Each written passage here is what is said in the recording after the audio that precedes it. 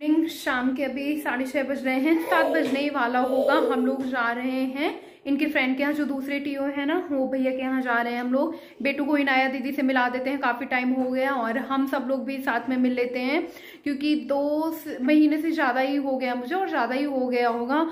कुंडा, तर्रा करते करते तो अभी काफ़ी टाइम बाद में यहाँ आई हूँ तो सबका ऐसा है ना कि सब लोग एक बार साथ में फिर मिल लेते हैं।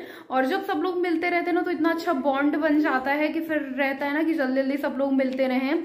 तो चलते हैं आज और बेटू ना ड्रेसिंग में एकदम अटैक कर रखा है, उसको जो, जितना भी मेरा मेकअप का सामान दिख रहा है ना, सबको उठा करके नीचे एक बार फेंक रहा है, एक बार ऊपर रख रहा है। और मैंने ना बहुत सिंपल से ऐसे किया हुआ है हेयर ओपन करके। और मेकअप में बहुत ना के बराबर सिर्फ़ एकदम लाइट वाली लिपस्टिक और बहुत हल्का हल्का सा मैंने काजल लगाया हुआ है दैट सेट गुस्सा हो हो के ना अपनी हालत बिगाड़ ली दिखाऊँ? ए लड़के, कहाँ जा रहे हो? इनाया दीदी के पास चल रहे हैं क्या? तो कहा जा रहे हैं? हम लोग बेटू को इनाया दीदी से मिलवाने जा रहे हैं। क्यों?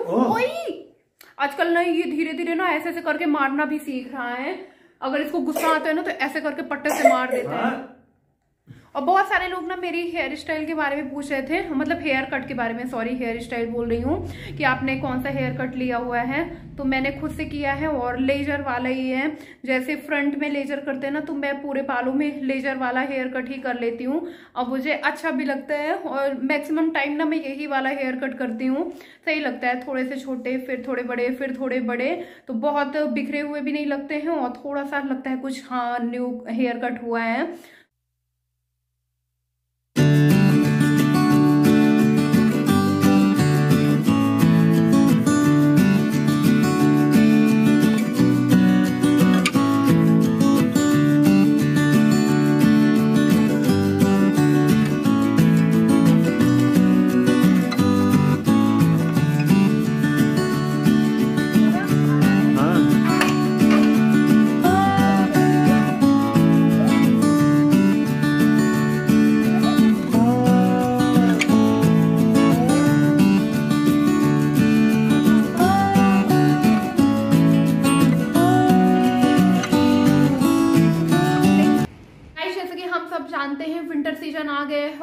विंटर में स्किन बहुत ही ज़्यादा ड्राई एंड ईची हो जाती है।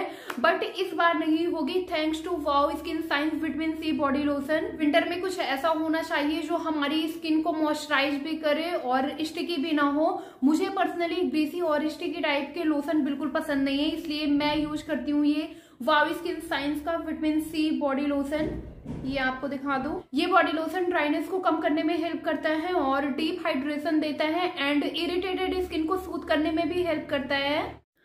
तो गाइस अभी मैं ये बॉडी लोशन लगा करके आप लोग को दिखाती हूँ और इसके टेक्सचर की बात करें तो बहुत ही ज़्यादा नॉन स्टिकी है। मतलब बिल्कुल भी आपको स्टिकी फील नहीं कराता है, देख करके ही समझ में आ रहा है। तो अभी मैं इसको अपने हैंड पे अप्लाई कर रही हूँ।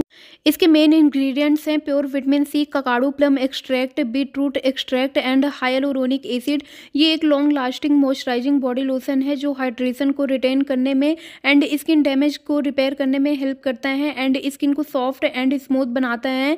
एंड ये body lotion UV rays and pollution से होने वाले डैमेज से भी प्रोटेक्ट करता है। और गाइस आप लोगों को बताऊँ, ये बॉडी लोशन नॉन ग्रीसी है एंड जल्दी एब्जॉर्व हो जाता है स्किन में बिना स्टिकी फील कराए। और गाइस आप लोगों को बताऊँ, ये नेचुरल एक्टिव से बना हुआ है 100 percent vegan and gluten free है। इसकी खुशबू बहुत अच्छी है तो इसमें कोई भी मिनरल ऑयल सिलिकॉन्स पैराबेन्स और कलर नहीं है तो मैंने इसका लिंक अपने डिस्क्रिप्शन बॉक्स में दे रखा है तो आप लोग मेरे लिंक के थ्रू जा करके इसको बाय कर सकते हो और अगर आप लोग इनका coupon code wow nature twenty use करोगे तो आपको ट्वेंटी परसेंट का डिस्काउंट मिलेगा इनकी website buy wow dot in पर be wow naturally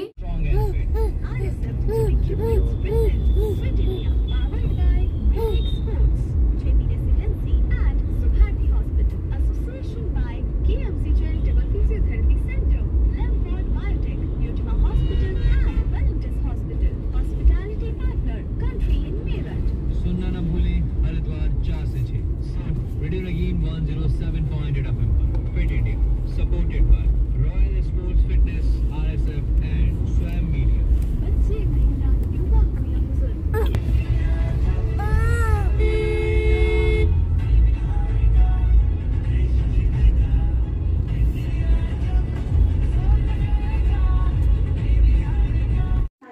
रात के साढ़े नौ बज रहे हैं, अब हम लोग जा रहे हैं डिनर करने। तो आपको दिखाऊँ डिनर में क्या है। मटर पनीर की सब्ज़ी है, चटनी है, चावल, रोटी और साथ में है खीरे का रायता।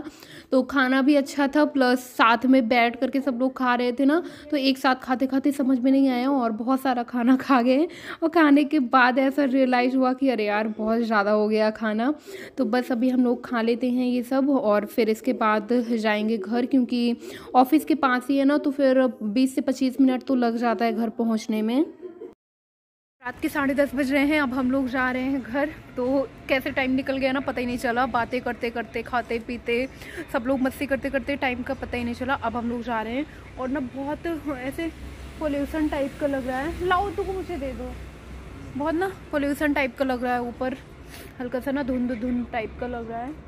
तो चलते हैं अब घर। बहुत मज़ा आया, बहुत इन्जॉय किया और अभी घर पहुँचते पहुँचते हमको ग्यारह तो बज ही जाएगा, क्योंकि आधा घंटा तो लग ही जाएगा ऊपर पहुँचते पहुँचते। फिर कपड़े वगैरह चेंज करेंगे उद्दू का भी अभी चल करके इसका करूँगी सेरेलक खिलाना है। कपड़े चेंज करूँगी। आजा बेटू आजा मामा की गोद में आ जाओ पापा गाड़ी स्टार्ट कर ले। और इन आया ना, फिर इस बार रो रही थी अभी। तो हमने बोला कि इसको ऊपर ही रहने दो, वरना अभी ये नीचे आएगी ना तो और ज़्यादा रोने लगेगी। चलो, चलते हैं अब। इनाया दीदी रो रही थी? क्यों बेटू? इनाया दीदी रोई रोई कर रही थी क्या? हो? देखो कौन आया। तो चलते हैं। घर और इधर साइड ना बहुत अच्छा लगता है। इतना ज़्यादा पेड़ पौधे हैं चारों तरफ़ कि जिधर नज़र जाएगी ना उधर ही आपको पेड़ पौधे ही दिखेंगे। हम लोग घर आ गए हैं और आते ही मैं उदू के काम में लग गई हूँ। पहले मैं उसका सेरेलक बना लेती हूँ, उसको खिला पिला देती हूँ, इसके बाद फिर कपड़े चेंज करूँगी। ऑलरेडी काफ़ी लेट हो गया है और उसका ना फिर कई बार क्या होता है, सोने का रूटीन चेंज हो जाता है। फिर ना वो दो तीन दिन तक उसका डिस्टर्ब ही रहता है, सोने का रूटीन कभी गलत टाइम पर सोएगा, फिर गलत टाइम पर उठेगा, ऐसे हो जाता है। तो अभी मैं पहले सेरेलक खिला दूँगी ना तो एटलीस्ट अपना ग्यारह, साढ़े साढ़े ग्यारह तक सो जाएगा अपने टाइम पे, वरना फिर अगर बारह बज गया ना तो सुबह फिर लेट में उठेगा। तो बस अभी गर्म कर लेती हूँ पानी और पानी गर्म करने के बाद इसमें सेरेलक ऐड कर दूँगी और उसको खिला दूँगी।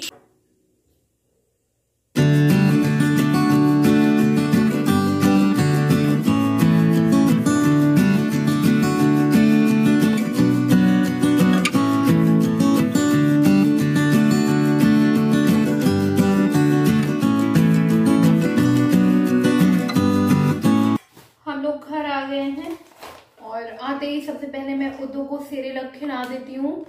ये सेरेलक खिला दूँगी ना तो फिर वो थोड़ी देर तक खिलता रहेगा तो उसका डाइजेस्ट भी हो जाएगा सोने से पहले, क्योंकि ऑलरेडी लेट हो गया है। पहले मैं उसको खिला ही देती हूँ। खैर, उसने खाना भी अच्छा खासा खा लिया है वहाँ, पनीर, रोटी तो उतना ज़्यादा ज़रूरत नहीं है बट फिर भी मैं सेरेलक भी थोड़ा सा खिला ही दूँगी, ताकि उसको रात में भूख ना लगे।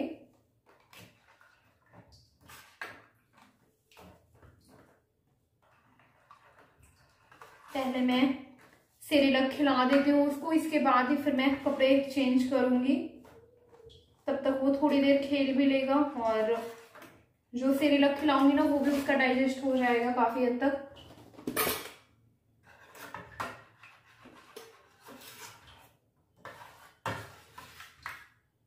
बच्चों में ना ऐसे ही होता है, जाने से पहले काम निपटाओ, आने के बाद भी तुरंत बच्चे के काम में ही लग जाना होता है।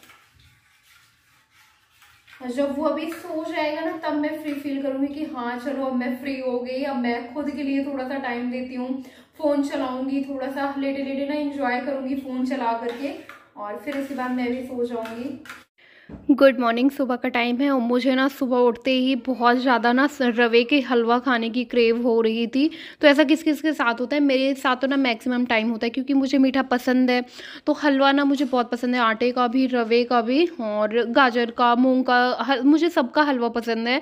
तो सुबह सुबह ना उठ के मेरे दिमाग में यही था कि यार मुझे आज हर, रवे का हलवा खाना है। तो फिर मैंने तुरंत बना लिया। तो बस मैं आप लोग के साथ भी शेयर कर रही हूँ। मैंने सबसे पहले घी डाला है, उसमें रवा डाला है और अच्छे से से मैं भून लूँगी, आप खुद देख सकते हो, एकदम गोल्डन ब्राउन कर लूँगी। मुझे ना वो वाइट वाइट हलवा नहीं पसंद है। ऐसे बिल्कुल डार्क रेड कलर में हलवा किसको पसंद है, रवे का? मुझे तो ऐसे वाला ही पसंद है। तो बस फिर इसके बाद मैंने चीनी डाला है और पानी डाल दूँगी। पानी थोड़ा ज़्यादा क्वान्टिटी में डालूँगी क्योंकि मुझे ना एकदम रवा जब पक जाता है, थोड़ा सा गीला गीला सा हलवा पसंद है।